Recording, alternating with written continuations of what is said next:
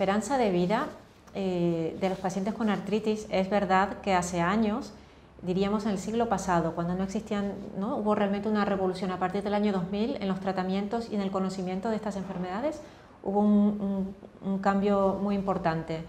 Y mm, entonces, estudios de, previa a esa época sí que se veía que había una, una disminución de la expectativa de vida, pero realmente desde que existen todos estos tratamientos, el diagnóstico precoz, eh, etcétera, etcétera, la expectativa de vida de los pacientes con artritis ha mejorado muchísimo.